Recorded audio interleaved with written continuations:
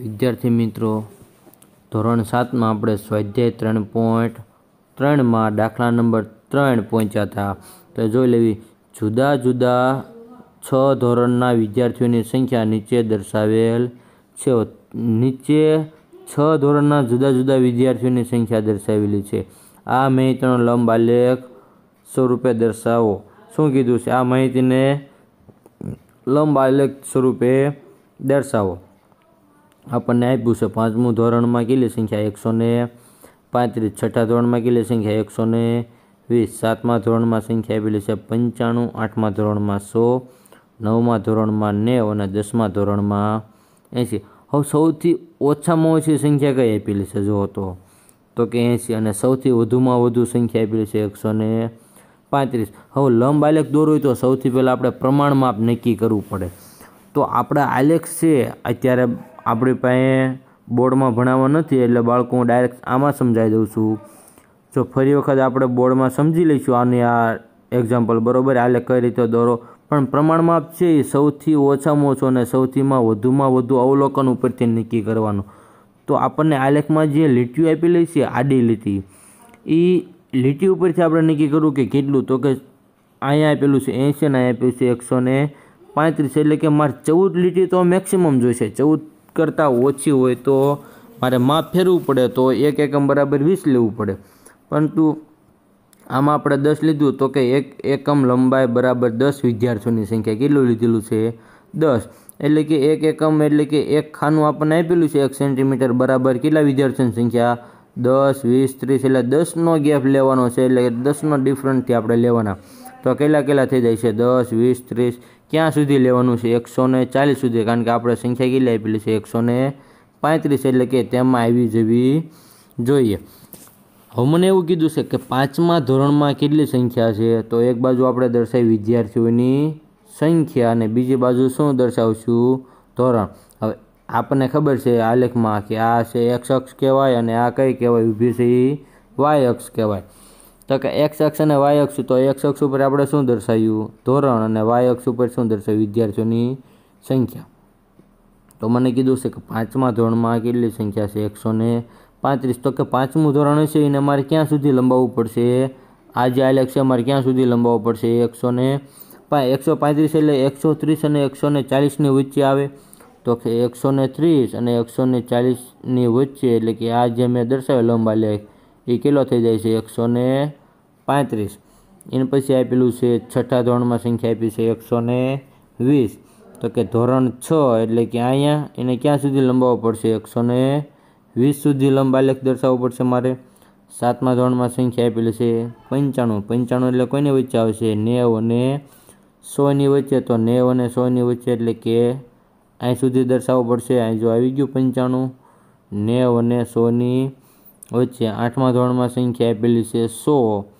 તો આઠમા ધોરણનો લંબ એટલે ક્યાં સુધી દર્શાવવો પડે? મારે સો સુધી. તો સો સુધી દર્શાવી દીધો અહીંયા. નવમા ધોરણમાં સંખ્યા આપેલી છે નેવ. તો કે નવમું ધોરણ અહીંયા આપેલું છે. એનો આલેખ ક્યાં સુધી? દોરવાનો લંબ આલેખ નેવ સુધી. તો આ નેવ સુધી આપણને દર્શાવેલો છે. હવે દસમું ધોરણ. દસમા ધોરણમાં સંખ્યા છે એંસી તો દસમું ધોરણ અહીંયા. એનો ક્યાં સુધી લંબાલેખ દર્શાવવાનો છે એંસી સુધી. તો એ એંસી સુધી આપણને દર્શાવેલો છે. તો આ રીતે આલેખ લંબ આલેખ છે તે આ રીતે દર્શાવવાનો છે. આપણે ફરી વખત આને જોઈ લઈશું બરાબર કે આલેખ પોથીમાં કઈ રીતે દોરવો. આ મેં તમને માહિતી આપી કે કઈ રીતે દોરવામાં આવેલો છે. હવે આની નીચે પ્રશ્નના જવાબ આપણે આગળ માગેલા છે બરાબર. તો તેના વિશે આપણે જોઈ લેવી. હવે પહેલો પ્રશ્ન એવો પૂછ્યો છે કે તમે પ્રમાણ માપ કેવી રીતે પસંદ કરશો તો આપણે સૌથી પહેલાં શું જોયું હતું? પ્રમાણ માપ છે એ નક્કી કરવા માટે શું કરવું પડે? સૌથી ઓછામાં ઓછી કિંમત અને સૌથી વધુમાં વધુ કિંમત જોવી જોઈએ. તો સૌથી વધુમાં વધુ કિંમત કેટલી છે? એકસો ને પાંત્રીસ. એટલે કે આપેલ માહિતીની મહત્તમ કિંમત એટલે વધારેમાં વધારે કિંમત એકસો પાંત્રીસ છે, જે એકસો ચાલીસથી ઓછી છે. તેથી આલેખનું માપ એક અક્ષ ઉપર શું દર્શાવવું પડશે? એક્સ અક્ષ પર ઝીરોથી એકસો ચાલીસ. સોરી, અહીંયા વાય અક્ષ આવશે. એક્સ અક્ષ એટલે કે આ કહેવાય. તો કે વાય ઉપર એક એકમ લંબાઈ બરાબર કેટલું દર્શાવવું પડશે? ઝીરોથી એકસો ચાલીસનું માપ લેવું. જોઈએ કારણ કે એકસો ચાલીસ લેવી તો જ એકસો પાંત્રીસ વચ્ચે આવી જાય ને? સમય જાય ને? વચ્ચે આવી જવા જોઈએ એકસો પાંત્રીસ. તો કે આપણે જે પસંદ કર્યું એ જ રીતે લેવાનું. તો કે વાય ઉપર જીરોથી એકસો ચાલીસનું માપ લઈશું અને પ્રમાણમાં એટલે કે એક સેન્ટીમીટર બરાબર, એક એકમ બરાબર દસ વિદ્યાર્થીઓ મુજબ આલેખ પર માહિતી નિરૂપણ કરશું એટલે કે આલેખ ઉપર માહિતી દર્શાવવામાં આવશે.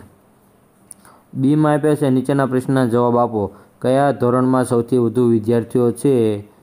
અને આ અને શું કીધું છે? આ સૌથી ઓછા છે. અને કયા ધોરણમાં સૌથી ઓછા છે? તો સૌથી વધારે આપણે આમાંથી ડાયરેક્ટ ખબર પડી જાય. આલેખ જોવો તો એ ખબર પડે કે પાંચમા ધોરણનો લંબ આલેખ છે સૌથી ઊંચો છે અને દસમા ધોરણનો સૌથી નીચો છે. તો કે શું કીધું છે કે પાંચમા ધોરણમાં સૌથી વધુ એકસો પાંત્રીસ વિદ્યાર્થીઓ છે, દસમા ધોરણમાં સૌથી ઓછા કે એંસી વિદ્યાર્થીઓ છે. હવે મને એવું પૂછ્યું છે કે ધોરણ છ અને ધોરણ આઠના વિદ્યાર્થીઓને સંખ્યાનો ગુણોત્તર શોધો. શું કીધું છે? ધોરણ છ અને ધોરણ આઠના વિદ્યાર્થીઓનો સંખ્યાનો ગુણોત્તર શોધો. હવે ધોરણ છમાં પહેલાં તો જોઈ લેવી કેટલા વિદ્યાર્થીઓ છે. ધોરણ છમાં એકસો વીસ અને ધોરણ આઠમાં સોરી, ધોરણ દસમાં કીધું છે ને આપણને? ધોરણ છ અને ધોરણ આઠ, સોરી. ધોરણ છ એટલે કે એકસો ને વીસ અને ધોરણ આઠ એટલે કે સો.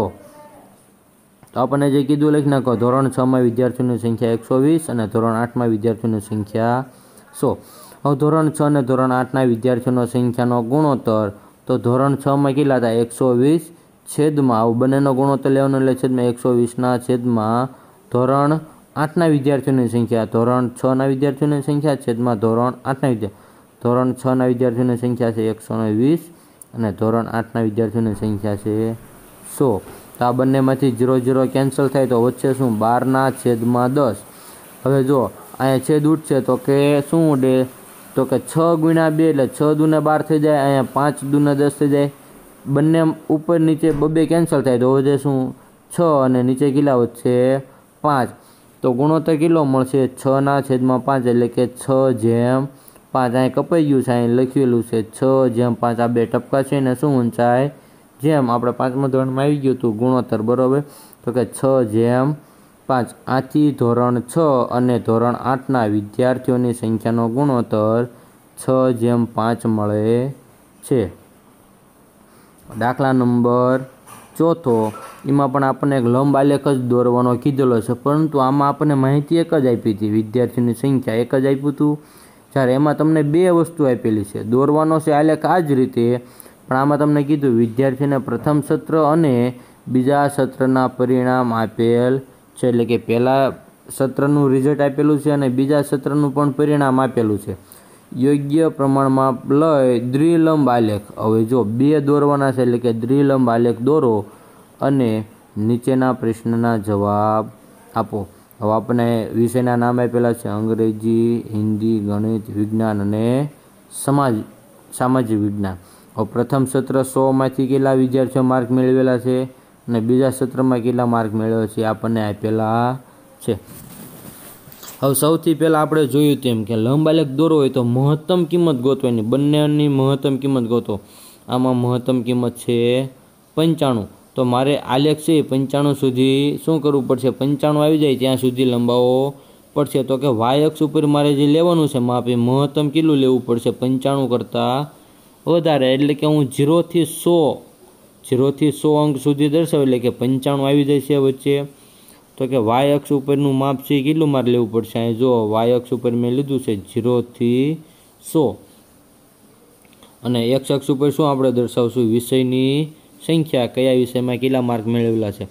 હવે આપણને દ્વિલંબ આલેખ ધોરણ કીધું. તો મેં જો લખ્યું છે, પ્રથમ સત્રને છે એ સફેદ કલરનું ચોરસ છે, તેના વડે વડે દર્શાવું છું.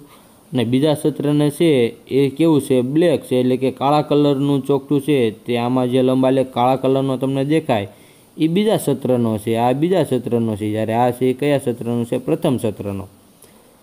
તો હું પહેલાં વિષય લઈ લઉં અંગ્રેજી. અંગ્રેજીમાં પ્રથમ સત્રમાં કેટલા માર્ક મેળવેલા છે? સડસઠ. કેટલા માર્ક મેળવેલા? સોમાંથી સડસઠ. શેમાં? અંગ્રેજીમાં. તો કે અંગ્રેજીનો આલેખ છે સડસઠ તો પહેલાં ક્યાં આવે? સાઠની અને સિત્તેરની વચ્ચે.